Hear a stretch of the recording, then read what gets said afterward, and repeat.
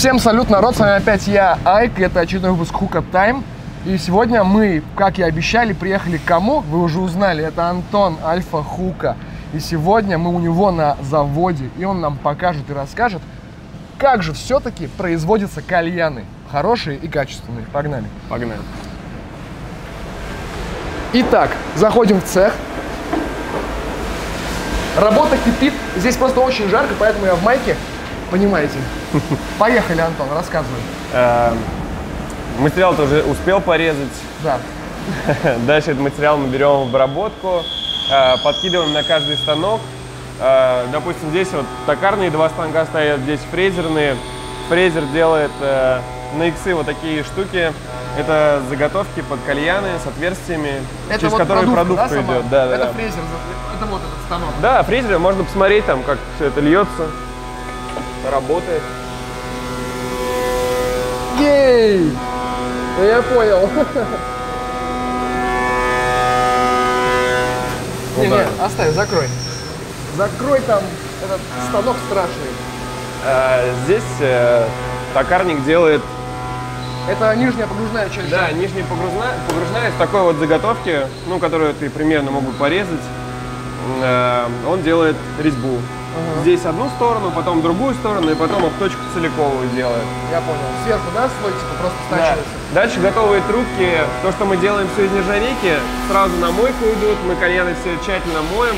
Вот, кстати, полуготовая трубка. Это без э, как раз Да, это без проточки, да. проточки. Потом это все проточится и будет э, гладенькая труб- гладко красиво. трубка, да. Потом они сразу идут на мойку, и там уже они моются до идеального блеска, чтобы не было разводов никаких, чтобы не было запаха сожи. Понятно. и так Дальше. далее. Что А, дальше происходит?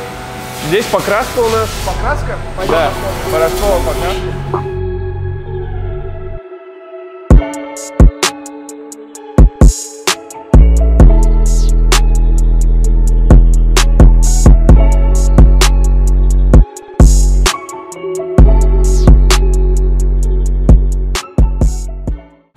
Такой камере все наносится порошком, электростатика, плюс-минус контакт, напыляется изделие. Понятно. С помощью электролита вы не даете, короче, пыли оседать на материал и избегаете вот этой проблемы, когда ты красишь, появляется грязюка.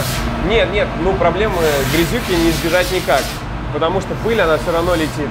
А, но нужно быть супер аккуратным, чтобы красить красивые цвета, как у нас.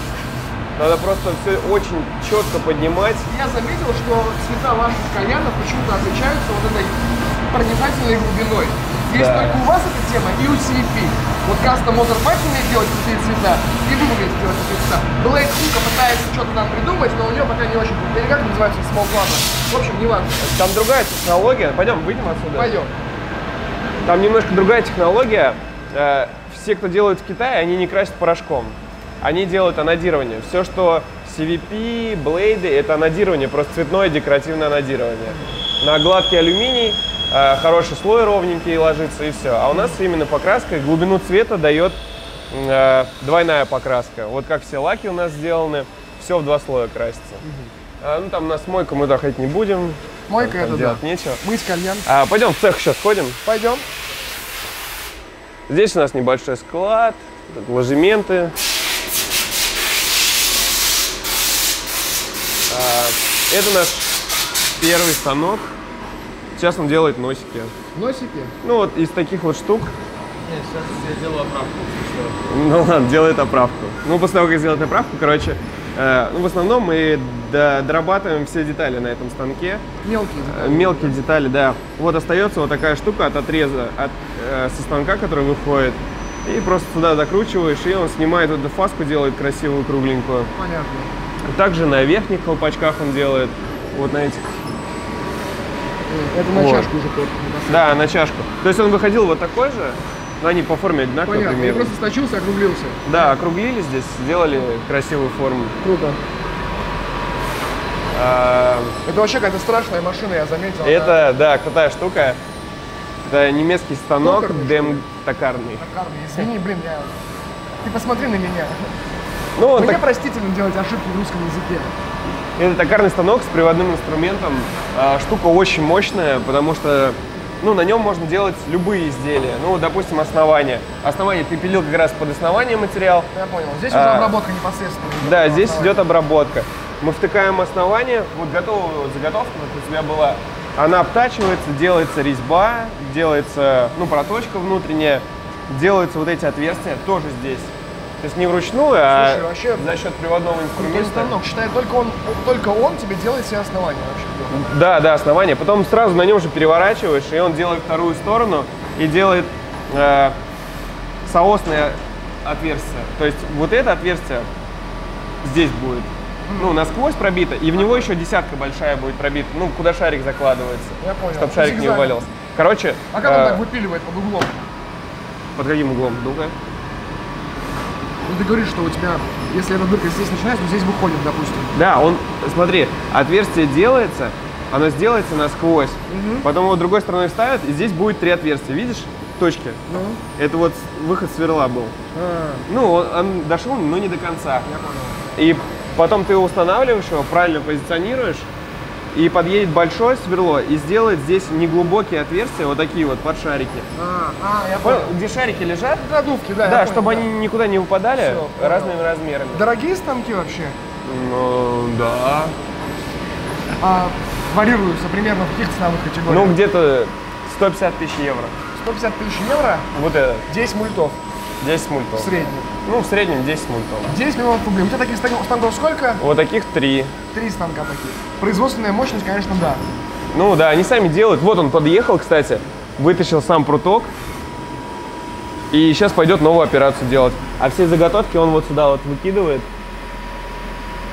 Ну, потом вытаскиваешь ее, короче, и достаешь. Это вот Прикольно. он сейчас колечки делает на коннекторы, которые закрывают Да, сам да, я магнит. понял. Это, кстати, э, вот я был просто ошеломлен. Вот эта идея, она просто идеальная. Магнит никогда не окислится. Просто закрой его колпаком. Ну, чтобы сделать такие колпаки остальным производителям, нужно делать мозги себе, а им уже не надо ничего делать. У них уже все сделано.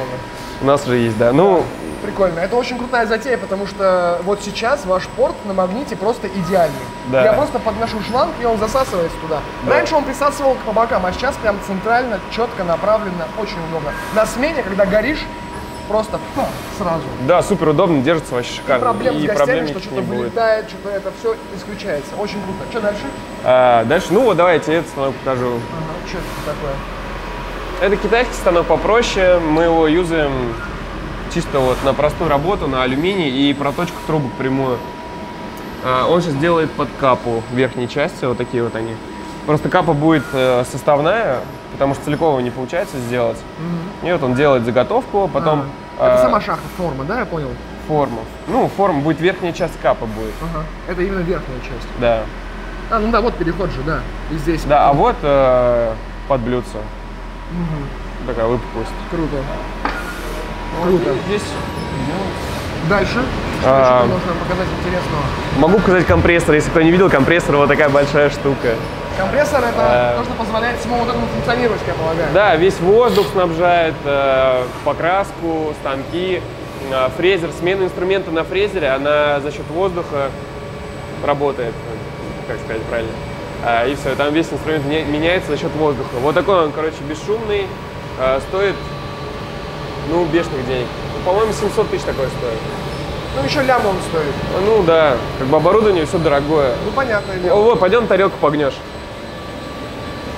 Как бы все спрашивают, как делаются тарелки. Я не знаю, почему это для людей такая большая загадка, но тарелки делаются просто. Э, Нарезаешь вот такие вот э, Диски. диски, делаешь оправку на, на наших же станках, э, заряжаешь,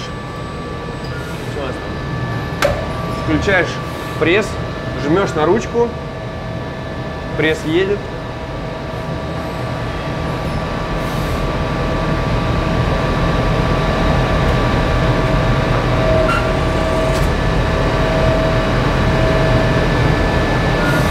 вот выходит тарелка.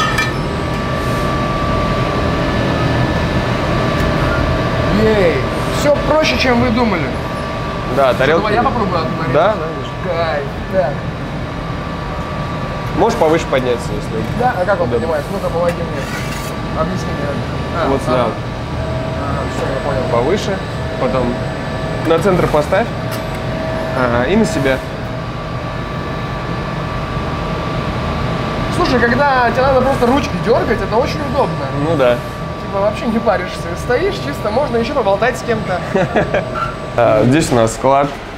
Ну, это не склад, это место силы, место, Место сборки, контовки, да, я понял. место нашей контовки. Прикольно, смотрите. Все расцветки прямо здесь. Практически, кстати. Да, это, ну, мы готовимся к отправкам, открашиваем все. Открашивается просто достаточно долго. По времени это занимает, ну, где-то в день, наверное, 200 комплектов мы можем Как я покрасить. понял, короче, единственная механическая работа здесь это именно покраска. А, ты имеешь в виду ручная? Ну да, типа. Нет, ну, ручной работы очень много. Допустим, те же коннекторы, их же нужно собрать. Они состоят из четырех частей. Коннектор, Ну, сама понятно. палка, два магнита Понятно. и это втулка. Это же Понятно. тоже надо собрать. Ну да, точно, точно. Я просто не знаю всех тонкостей производственного процесса, поэтому нет, кажется, это просто. Ну, Если вникнуть, я понимаю, что это Да. типа пипец сколько заморок. Но очень круто, пацаны. Это реально мы готовимся, открасим все, и потом начнем собирать. Ну, Переберем весь брак, посмотрим, что получилось, что не получилось, что докрасить нужно будет. Эм, Тут, чтобы понять, как что работает, нужно просто на колен внимательно посмотреть. Допустим, вот ты смотришь на основание, да, и ты такой думаешь, блин, ну, кругляш какой-то простой, что там делать? Но на самом деле, чтобы вот сделать эту пластинку с гравировкой, это ее надо, надо купить материал, лист, закинуть э, на лазерную резку, чтобы его порезали, его режут, ты приносишь на покраску, их обезжиривают, красят, приносят сюда, ты их гравируешь все, и потом только сюда устанавливаешь. То есть это длинный процесс для всего, понятно. все длинный процесс. Чем больше мелких деталей, тем больше замороки. Да, Но да. Это отличительные признаки зато твоего продукта. Ну и вообще кальяна в целом. Мы стараемся дорабатывать. Чтобы вы понимали, это моменты. вот то, что я в самом, в самом начале этого видоса точил. Да, в да. начале, я не знаю, когда пацаны ставят, но, в общем, когда я вот точил все это дело, вот это... Вот то это ты заготовку такую заготовочку. делал. Круто. Очень круто. А тот станок DMG, он делает вот эти все отверстия и вот эти все отверстия. я и вот эти подболты тоже А, отверстия. да, ты вот мне как раз таки это и объяснял. Ну, прикольно, очень круто. Ну ты знаешь, да, что мы делаем, Да. укладываем конверты Знаю. Каждый Это круто. кальян. Это очень круто, но это супер запарно. это дело. очень сложно, ну, потому что тебе нужно сделать, допустим, вот здесь стоит э, 1400 конвертов. Э, вчера это делали почти весь день. То есть весь день потратили, чтобы сделать 1400 конвертов, ну, примерно на полторы недели. Э, Это очень долго. И в конвертах там лежу- лежат, э, ну, и там инструкция лежит, э, лежит письмо благодарственное и стикеры. Я читал, Это все круто. укладывается, э, склеивается, и еще сургучом делается. Круто. Но сейчас, так как мы новые конверты заказали, причем в Не все поймут, что такое сургуч. Это когда... Сургуч печать такая. Печать, да. Ты воском или чем, какие там, гли... Ну, там воск, воск с пластилин, пластиком, глина, да. еще что-то, да, используешь, и просто, типа, ставишь штамп такой. Но это очень круто. Если кто-то покупал из вас альфа-хука, вы, наверное, видели этот конверт. Ну да, все радуются конвертам. Потому что, ну да, клево, там и инструкция по применению, и примерное описание продукта, и стикеры. Прикольно. Но приятно всегда, когда производитель немного уделяет времени вот таким мелочам, которые действительно важны для Ну да. потребителя. Это ручная работа. Можно сказать, что кальян весь ручная работа. Просто на станках ты руками же подкладываешь детальки, они просто резцом там точатся. И э, так как мы сменили поставщика, у нас кон- конверты сейчас э, сургуч мы не делаем, мы делаем гравировку на конвертах.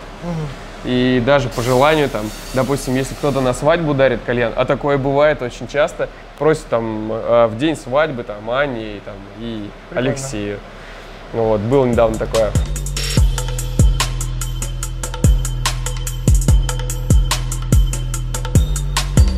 А это Можем на конверте сделать. сама гравировка, да, здесь производится? Да, у нас лазерная? три лазера, они все немного разные, но мы их потихоньку подводим к одному какому-то знаменателю, чтобы они были примерно одинаковые.